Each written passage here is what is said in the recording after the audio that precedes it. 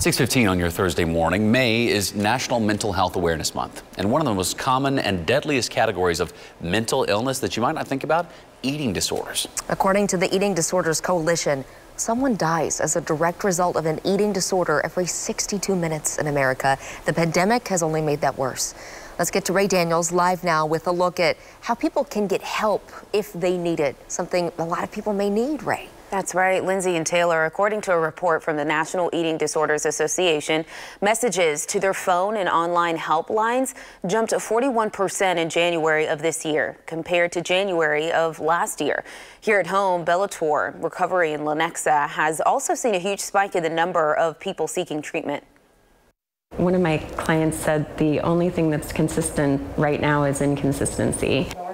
Kristen O'Klaus is one of the co-founders of Bellator. She says the inconsistency of the last year has been one of the biggest con contributors to the rise in eating disorders.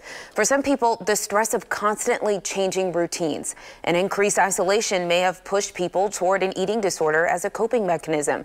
For others, the disorder may have already been there, but it wasn't as noticeable because of busy schedules.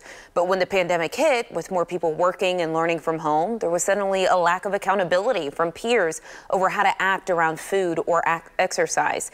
And teenagers specifically, O'Klaus says she noticed they were largely influenced by social media videos promoting how to lose, quote, quarantine weight.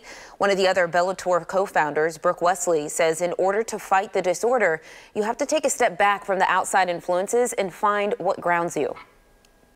So much of the eating disorder is taking us outward. How do I look? What am I eating? Where am I going?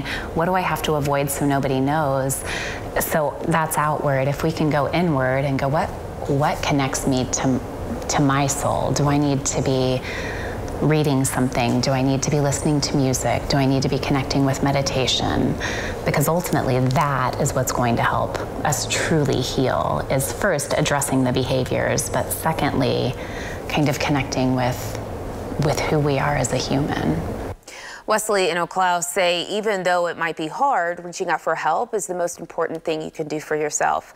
On the screen are some numbers you can call, including Bellator's number and the National Eating Disorder Helpline, as well as the crisis text line. We'll also post these resources on our website at kshb.com and also our app. Ray, what are some signs that someone, if they're hearing this, going, I think I might need some help? Mm. Uh, what are signs to be looking for? Yeah, so those signs, Lindsay, of an eating disorder can vary a lot from person to person. But generally, if someone spends the majority of their day thinking about food or exercise, that's a sign that they may need help. Some other signs include restricting certain foods, being uncomfortable eating around others, and withdrawal from usual friends and activities. It is important to note not all eating disorders center around someone being unhappy with their appearance. Sometimes it's a way for them to find a sense of control in their life. If you have any concerns about yourself or a loved one, you should contact a professional for guidance on treatment.